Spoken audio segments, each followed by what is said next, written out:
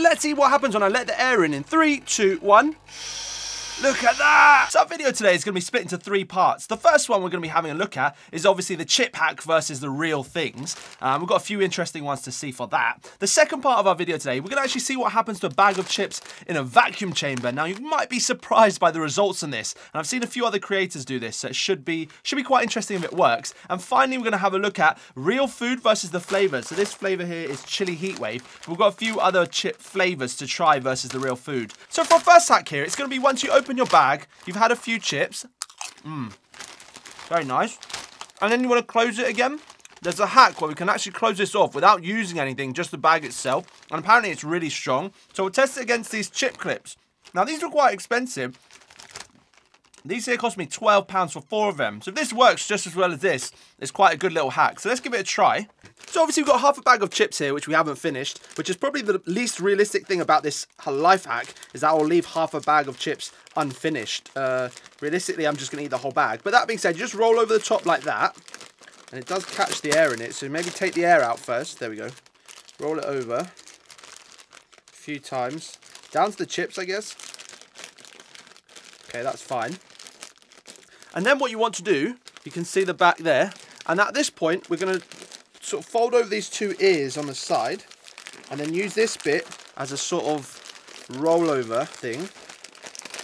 Is that locked in nicely? There we go. That sort of worked. And now, it is holding. So got them both in place. I've got to say, it looks pretty decent on both sides.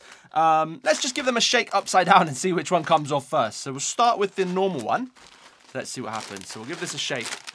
Okay, so in three, two, one. Okay, almost immediately it started to come out the top. That's not great. So we've got a hack one here now. Let's give this a try. In three, two, one.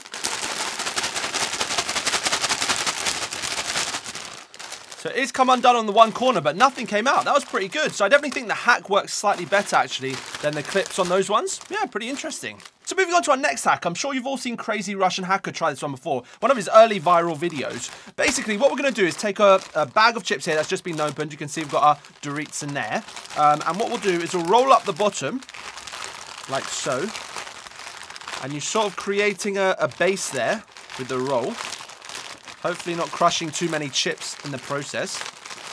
And you essentially, that is a little bowl there. And yeah, you can see that does work quite nicely. Um, it's not that complicated, is it? It's just a bowl. Um, but yeah, I quite like the presentation of this. It looks quite interesting. You can grab your chip. Now that being said, let's test it against just a normal bowl and see if it works better or worse. So let's fill this bowl with some of these ones. Let's just say you're, you're walking in a party uh, you know, chatting to your friends, you know, hey Bill, hey Bob, you know, saying hello to everyone, schmoozing all the people, you know, and you're sort of being all smooth and suave, and you just walk past the table of chips, and you just graze past, let's say, the bowl first. So you're like, you're walking, doo doo doo doo. Whoop. Ah, okay. You didn't embarrass yourself. You didn't have to leave the party. No one minded anything. Right, let's try the same thing on our uh, hack version here and see what happens. So you're just walking along, walking, walking. Ah, oh, the hack one is good, but obviously you've got to bear in mind that, that, that this is not all that stable as a, as a shape, whereas a bowl is a heavy object. It's not really going anywhere. So moving swiftly on, this next one definitely requires a little bit of skill-based matchmaking. Um, you have to do a little bit of craft here, but it looks quite fun, uh, to be honest. Uh, I, I, quite like the idea of this. So what I'm going to do is show you this now. Basically, you'll be able to eat these chips without getting your fingers dirty at all. I know that's usually a bit of the fun part of eating things like the I like chips, because um, then you can sort of lick your fingers afterwards. But this apparently is a technique you can use to make sure you never get that again. I don't know, if you're playing uh, playing on your computer or something like that, don't want to get your keyboard all greasy, um, you can use this. So what you need to do is grab your, uh, obviously your chips and a pair of scissors. And all we're going to do is cut the corners off of our bag here like so. But you have to make sure that you haven't cut the open the top yet. That's really important. So what we'll do is we'll cut this corner here, just like that. Nice and uh, simply. And do the exact same on the other side. And now, this bit in the middle, you just cut across. Okay. So now I've got our bag that's opened. Obviously, you can see there. And all we're going to do, of stand this up from it. I'll just put that on the side. And then all you're going to do is take these pieces, for some reason, flip them round, like so. You can see it makes like a little uh, hat. And we'll do the same for this side. Just around like that. Move those out of the way. Okay, so we've got these two. I think you can guess what we're going to do. Then basically you take it on one You take it on one hand like that, and then you put it on your other hand like this. Um, this feels incredibly silly. and there you go. And now you can grab your chips after you've done a whole five minute craft video um, and you can grab them out just like that and eat them. Let's give it a try properly and see how they work. So we've got our fingers in our little hat things there, you can see. Um, just try and press them in so they don't keep falling off. Let's try and grab our little chip here. Okay, so it does work. It does obviously grab on uh, without falling off necessarily. Let's try it. Mmm. I feel like it kind of ruins the experience of eating the uh, the chips though. Honestly, part of it is like you get to feel the texture of the food with your hand before you actually try it.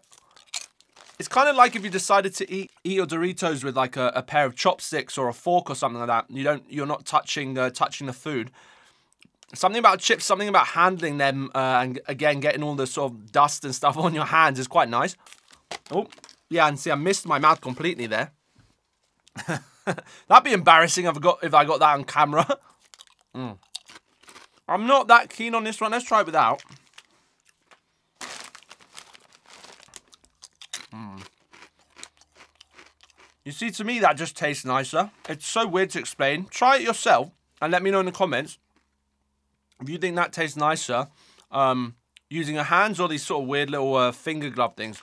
So this last one is by the OG Dave Hax himself. Uh, this is where I first saw the video, and I think quite a lot of people have sort of copied it since. Basically, what he does is he takes this, uh, the sort of this opening thing from baby wipes uh, and places it onto the bag here. And apparently, it's quite a little nice trick to be able to open and close the bag really simply. So let's do it and see how well it works. Obviously, he showed in the video that it works quite well, but I want to try it for myself. So apparently, this is just held on with a bit of double-sided adhesive. So let's see if we can get that off.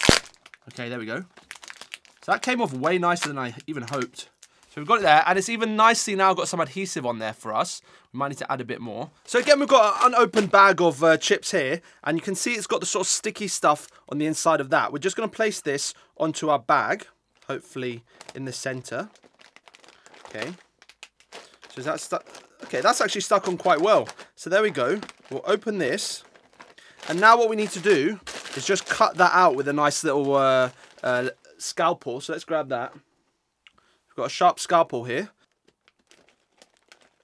If you have a sharp scalpel like this, it makes it very easy.